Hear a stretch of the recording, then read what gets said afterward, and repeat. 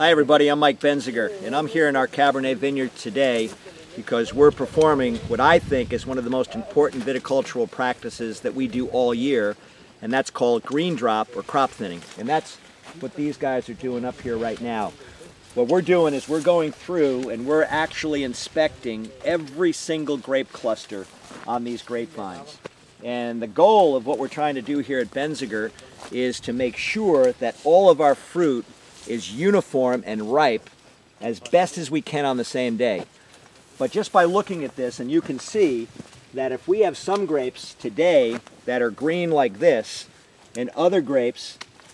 that are already colored up, that these two are not going to be ripe on the same day. So if we pick, if, if we allow this to, to continue on, when we pick, we're going to have grapes that are ripe and grapes that are underripe.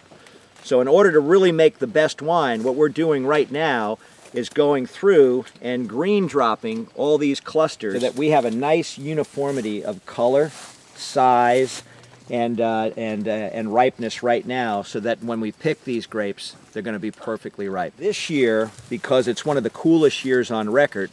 we're being a little bit more aggressive and cutting off a little bit more fruit because we want to lighten the load of our grapevines to make sure that they get ripe because there's just not a lot of time left. So we're going to sacrifice a little bit more fruit than we usually do